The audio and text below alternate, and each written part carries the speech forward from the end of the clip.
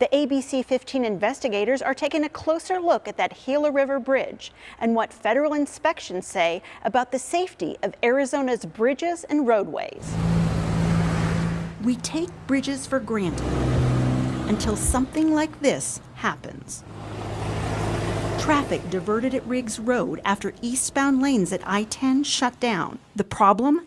Concrete giving way and exposing rebar. The ABC 15 investigators dug deeper to take a look at the bridge's condition. The Federal Highway Administration rates bridges in three categories poor, fair, and good. This bridge was is rated fair, as is the bridge carry traffic in the other direction, which is not surprising for a bridge of its age. Steve Elliott, spokesman for the Arizona Department of Transportation, says this two lane bridge is going to be replaced with a three lane bridge. We have a you know, a much better uh, situation coming. Overall, Arizona has over 8,500 inspected bridges. 1% are rated poor, 35% fair, and 64% are good we discover holes in the deck where you can see blue sky. An investigation last year by Scripps News found more than 14,000 bridges across the country ranked in poor condition for at least a decade. 56 Arizona bridges are in this category, mostly in rural areas.